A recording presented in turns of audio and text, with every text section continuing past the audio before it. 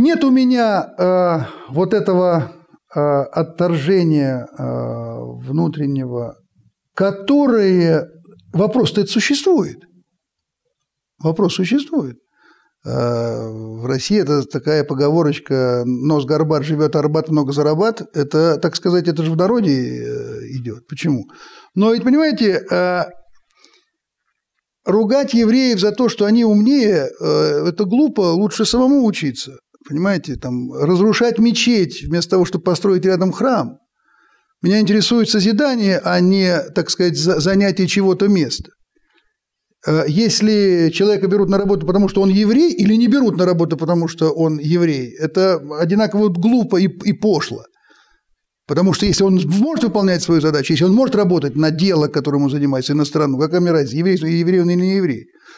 Но э, вопрос заключается в том, что э, это как раз это самое удобное.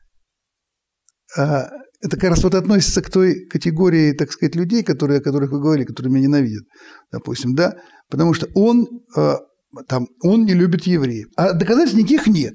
Если я дал по морде хаму, он оказался евреем, это не значит, что я не люблю евреев, я не люблю хамов.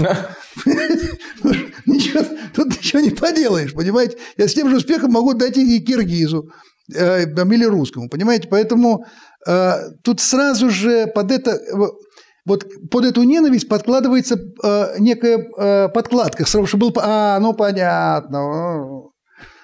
Смотрите картину 12. Ну, люблю я евреев или нет?